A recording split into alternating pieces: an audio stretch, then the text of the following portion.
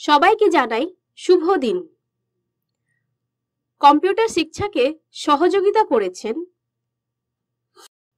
আগের ক্লাসে আপনি ভিউ অপশনটির সম্পর্কে শিখেছেন। আসুন প্রথমে আমরা আগের ক্লাসের চর্চা করি। আপনি কি বলতে পারবেন কেন আমরা ভিউ ব্যবহার করি? ভিউ অপশনটি রাইটারের পেজে ফাংশনগুলিকে হাইড করতে সহযোগিতা করে এবং পূর্বে হাইড করা ফাংশনগুলি শো করতে সহায়তা করে। আপনি কি বলতে পারেন প্রিন্ট লেআউট এবং ওয়েব লেআউটের মধ্যে পার্থক্য কি? প্রিন্ট লেআউট ব্যবহার করার সময় আপনার পেজটিকে নর্মাল ভিউয়ে দেখতে পারেন। এছাড়াও আপনি দেখতে পারেন যে আপনি কোন পেজে কাজ করছেন।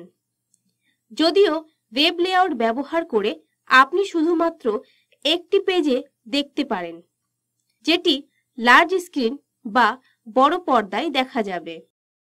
আপনি কি বলতে পারবেন কীভাবে ড্রয়িং টুলবারটি সরিয়ে ফেলবেন?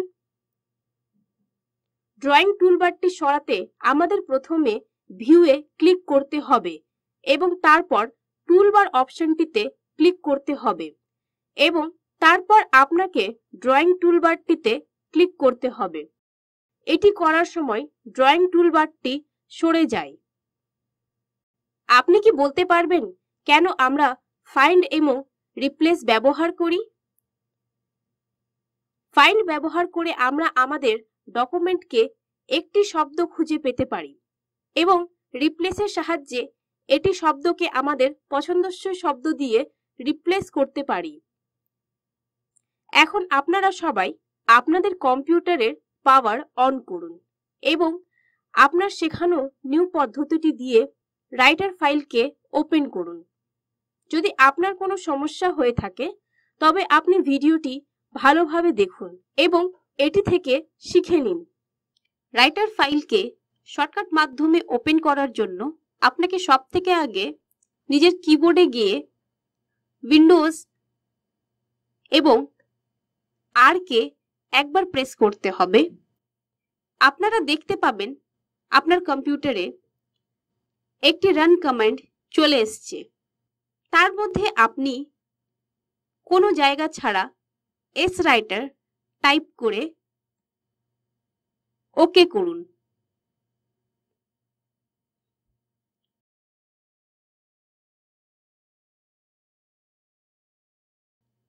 এইভাবে শর্টকাট পদ্ধতিতে আপনার রাইটারের ফাইল খুলে গেল। আপনি কি বলতে পারবেন প্রিন্ট লেআউট এবং ওয়েব লেআউটের মধ্যে কি পার্থক্য? প্রিন্ট লেআউট ব্যবহার করার সময় আপনি আপনার পেজটি একটি সাধারণ ভিউতে দেখতে পারেন এবং আপনি দেখতে পারেন যে আপনি কোন পেজের মধ্যে কাজ করছেন। যদিও ওয়েব লেআউট দ্বারা আপনি শুধুমাত্র একটি পেজ দেখতে পারেন, যেটি বড় পর্দায় দেখা যাবে। তবে এখন জেনে নিব যে অপশনগুলি সম্পর্কে আমরা আজ শিখব, আপনি আজ প্রিন্ট লেআউট এবং ওয়েব লেআউট ব্যবহার করে চর্চা করবেন। আপনি টুলবার এবং টেক্সট বাউন্ডারিকে হাইড এবং শো করে চর্চা করবেন। একইভাবে রুলার এবং তারপর ফুল স্ক্রিন এবং জুম অপশনটি বিষয়ে চর্চা করবেন। এখন আপনাকে দেখানো লাইনটি টাইপ করুন এবং একে দশ বার পেস্ট করুন। মনে রাখবেন যে প্রতিটি লাইন একটি নতুন লাইনে থাকতে হবে। কোনো সমস্যা হলে ভিডিওটি ভালোভাবে দেখুন এবং এটি শিখুন। রাইটারের পাতাতে কপি এবং পেস্টের ব্যবহার শেখার জন্য লাইনের শেষে নিয়ে যাব এবং মাউস দিয়ে ড্র্যাগ করে লাইনটিকে সিলেক্ট করব।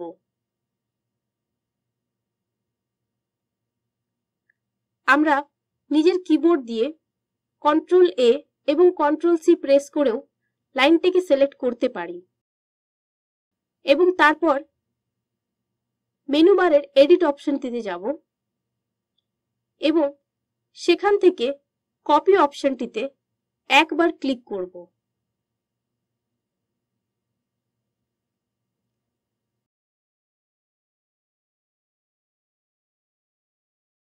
যেটা দিয়ে আমাদের সিলেক্ট করা লাইনটি কপি হয়ে গেছে।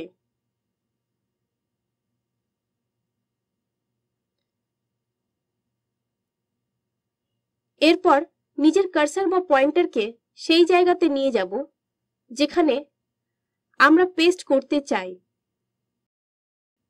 পেস্ট করার জন্য আমরা আবার মেনু বারের এডিট অপশনটিতে যাব এবং সেখানে পেস্ট অপশনটিতে একবার ক্লিক করব। আমরা কিবোর্ডের সাহায্যে কন্ট্রোল ভি প্রেস করেও সে লাইনটিকে পেস্ট করতে পারব। কপি করার জন্য আমরা একবারই কন্ট্রোল সি বা এডিট মেনু থেকে কপি করব। কিন্তু যদি আমরা পেস্ট করতে চাই, তাহলে আমরা যতবার কন্ট্রোল ভি বা পেস্ট কমান্ড ইউজ করব, আমাদের লাইনটি পেস্ট হতে থাকবে।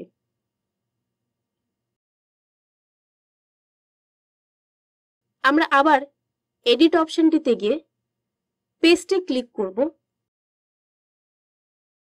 আপনারা দেখতে পাবেন লাইনটি আবার আপনার পাতাতে পেস্ট হয়ে গেছে। এইভাবে আমরা সে একই লাইনকে বারবার পেস্ট করব।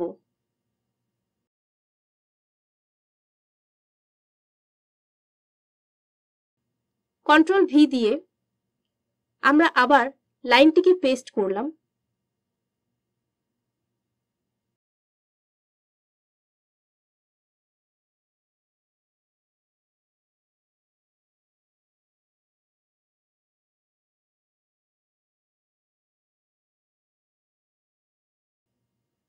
এইভাবে আমরা রাইটারের পাতাতে কপি পেস্টের ব্যবহার শিখলাম। আসুন তবে ভিউ অপশনটি বিষয়ে চর্চা শুরু করা যাক। তাই প্রথমে এগিয়ে যান এবং দেখান যে কীভাবে আপনি ফরম্যাটিং টুলবারটি হাইড করে রাখতে পারবেন। আপনারা কোনো সমস্যার সম্মুখীন হলে তবে ভিডিওটির সাহায্যে শিখুন। রাইটারের পাতাতে ফরম্যাটিং বারকে হাইড করার জন্য বা লুকানোর জন্য আপনারা সর্বপ্রথম নিজের কার্সার বা পয়েন্টারকে মেনু বারের ভিউ অপশনে নিয়ে যান এবং সেখান থেকে টুল বারে যান।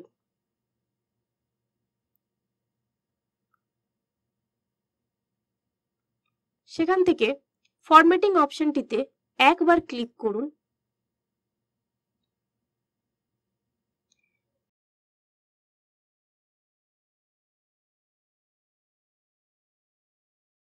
আপনারা দেখতে পাবেন আপনাদের রাইটারের পাতাতে ফরম্যাটিং বারটি সরে গেছে বা লুকিয়ে গেছে। এইভাবে আমরা রাইটারের পাতাতে ফরম্যাটিং বারকে হাইড করা শিখলাম। এবং এরপর এগিয়ে যান এবং টেক্সটের বাউন্ডারি সরিয়ে ফেলুন। এবং আবার যদি কোনো সমস্যা হয় বা যদি কোনো সন্দেহ থাকে, তবে ভিডিওটি দেখুন এবং এটি থেকে শিখে নিন। রাইটারের পাতাতে টেক্সট বাউন্ডারিজকে হাইড করার জন্য বা লুকানোর জন্য আপনারা সর্বপ্রথম নিজের কার্সার বা পয়েন্টারকে মেনু বারের ভিউ অপশনে নিয়ে যান।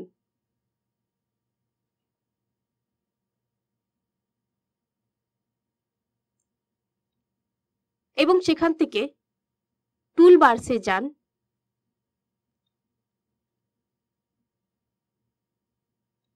এবং সেখান থেকে টেক্সট বাউন্ডারিজ অপশনটিতে একবার ক্লিক করে দিন।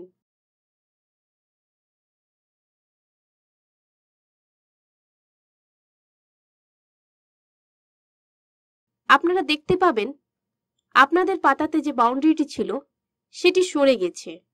এইভাবে আমরা টেক্সট বাউন্ডারিকে হাইড করা শিখলাম। এখন ড্রয়িং টুল টুলবারটি সরান।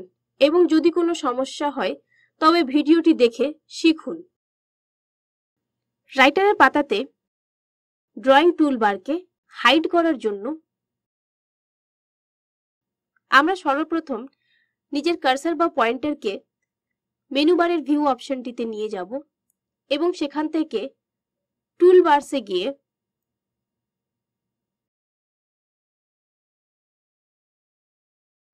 ড্রয়িং অপশনটিতে একবার ক্লিক করে দিব।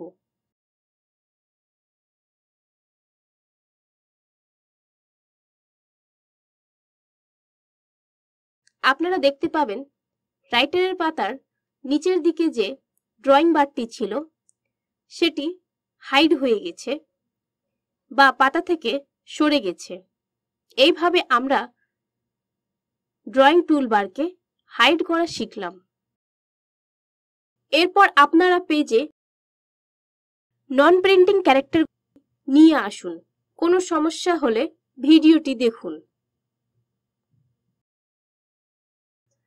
নন প্রিন্টিং ক্যারেক্টারগুলোকে ফিরিয়ে নিয়ে আসার জন্য আমরা সর্বপ্রথম নিজের মাউস বা পয়েন্টারকে ভিউ অপশনে নিয়ে যাব।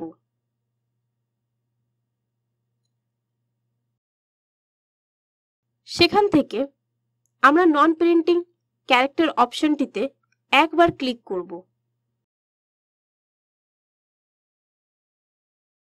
আপনারা দেখতে পাবেন নন প্রিন্টিং ক্যারেক্টারগুলি ফিরে এসছে। এইভাবে আমরা রাইটারের পাতাতে নন প্রিন্টিং ক্যারেক্টারগুলিকে ফিরিয়ে নিয়ে আসা শিখলাম। এখন স্ট্যান্ডার্ড টুলবার হাইড করুন। যদি কোনো সমস্যা হয়, তবে ভিডিওটি দেখুন। রাইটারের পাতাতে স্ট্যান্ডার্ড টুল বারকে হাইড করার জন্য আপনারা সর্বপ্রথম নিজের কার্সার বা পয়েন্টারকে মেনু বারের ভিউ অপশনটিতে নিয়ে যান এবং সেখান থেকে টুল বার্সে গিয়ে স্ট্যান্ডার্ড অপশনটিতে একবার ক্লিক করে দিন। আপনারা দেখতে পাবেন আপনাদের স্ট্যান্ডার্ড টুল বারটি রাইটারের পাতা থেকে সরে গেছে। এইভাবে আমরা স্ট্যান্ডার্ড টুল বারকে হাইড করা শিখলাম। এরপর দেখান আপনি কীভাবে পেজের আকার কমাতে পারবেন এবং যদি এটি করতে আপনার কোনো সমস্যা হয়, তবে ভিডিওটি দেখে শিখুন। রাইটারের পাতাতে স্বাভাবিক পেজকে বা পাতাকে ছোট করার জন্য আমরা রাইটারের পাতার ডান দিকের কোণে নিচেতে যে মাইনাস বাটনটি রয়েছে, সেখানে ক্লিক করব। আপনারা নিজের ইচ্ছা অনুসারে সেখান থেকে পেজটিকে ছোট করতে পারবেন। এইভাবে আমরা রাইটারের পাতাতে জুম ইনের ব্যবহার শিখলাম। ড্রয়িং টুলবারটি ফিরিয়ে আনুন এবং যদি কোনো সমস্যা হয়, তবে ভিডিওটি দেখে শিখুন।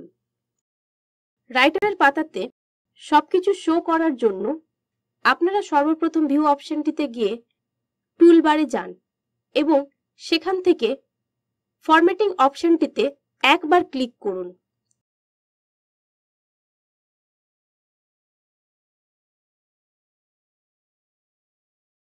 আপনারা দেখতে পাবেন ফরম্যাটিং বার রাইটারের পাতাতে দেখা যাচ্ছে। এরপর ড্রয়িং টুলবারটি ফিরিয়ে আনুন। এবং যদি কোনো সমস্যা হয়, তবে ভিডিও দেখে শিখে নিন। তারপর আবার ভিউ অপশনটিতে গিয়ে আবার টুলবারে যান এবং সেখান থেকে ড্রয়িং অপশনটিতে একবার ক্লিক করুন।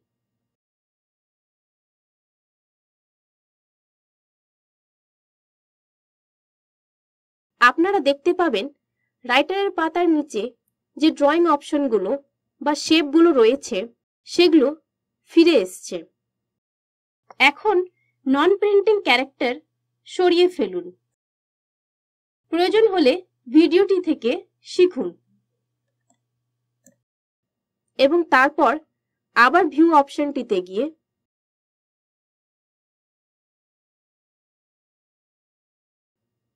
নন প্রিন্টিং ক্যারেক্টার অপশনটিতে একবার ক্লিক করুন।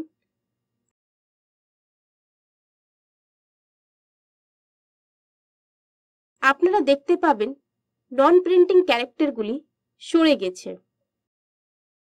এরপর টেক্সট বাউন্ডারিজকে ফিরিয়ে আনুন। সন্দেহ হলে ভিডিওটি দেখুন। আপনারা আবার ভিউ অপশনটিতে গিয়ে সেখান থেকে টেক্সট বাউন্ডারিজ অপশনটিতে ক্লিক করুন। আপনারা দেখতে পাবেন আপনারা যা টাইপ করেছেন, তার চারদিকে পাতাতে বাউন্ডারি চলে এসছে। এরপর স্ট্যান্ডার্ড টুলবার ফিরিয়ে আনুন। আপনি যদি কোনো সমস্যার সম্মুখীন হন, তবে এটির সম্পর্কে জানতে ভিডিওটি দেখুন। তারপর আবার আপনারা ভিউ অপশনটিতে যান এবং টুল বারে গিয়ে স্ট্যান্ডার্ড অপশনটিকে একবার ক্লিক করুন।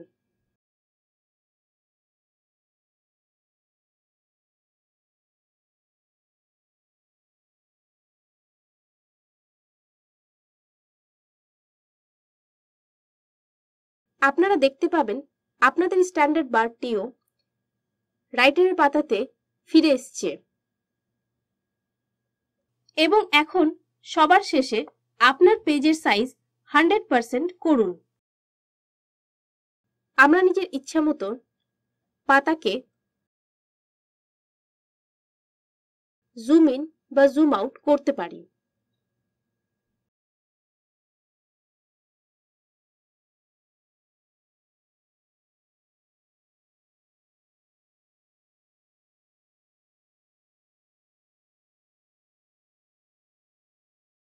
এইভাবে আমরা রাইটারের পাতাতে সব কিছু শো করা শিখলাম। আমরা আজকের ক্লাস এখানেই শেষ করব। তাই আপনার রাইটারের ফাইলটি ক্লোজ করুন। আপনি যদি আপনার ফাইলটি বন্ধ না করেন, তাহলে আপনার কম্পিউটারটি সঠিকভাবে শাটডাউন করতে পারবেন না। এবং এর ফলে আপনার ফাইলটি ক্ষতিগ্রস্ত হতে পারে, যার মানে আপনি আপনার ফাইলটি হারাতেও পারেন। যদি কোনো সন্দেহ থাকে, তাহলে ভিডিওটি দেখুন এবং শিখুন। রাইটারের পাতাকে ক্লোজ করার জন্য আপনারা সর্বপ্রথম রাইটারের পাতাতে ডান দিকের উপরে কোণেতে যে ক্রস বাটনটি রয়েছে, যেটি ক্লোজ বাটন, সেটিতে একবার ক্লিক করুন। আপনাদের সামনে একটি বক্স খুলে যাবে, যেখানে তিনটি অপশন রয়েছে সেভ ডিসকার্ড এবং ক্যান্সেল যদি আপনারা এই পাতাটি সেভ না করতে চান, তাহলে ডিসকার্ড অপশনটিতে একবার ক্লিক করে দিন। আপনাদের রাইটারের পাতাটি ক্লোজ হয়ে যাবে। এইভাবে আমরা রাইটারের পাতাকে ক্লোজ করাও শিখলাম। এরপর এগিয়ে যান এবং সঠিকভাবে আপনার সিস্টেমকে শাটডাউন করুন। আজকের ক্লাসে আপনারা সবাই ভিউ মেনুর সাব মেনু সম্পর্কে চর্চা করেছেন। সাব মেনুর উদাহরণ হিসাবে প্রিন্ট লেআউট এবং ওয়েব লেআউট এই সব। আপনি চর্চা করেছেন কীভাবে টুলবার শো অথবা হাইড করা হয়। টেক্সট বাউন্ডারি সম্পর্কে। রুলার এবং নন প্রিন্টিং ক্যারেক্টার সম্পর্কে। আপনি জুম সম্পর্কেও শিখেছেন। কম্পিউটার শিক্ষাকে সহযোগিতা করেছেন। ধন্যবাদ।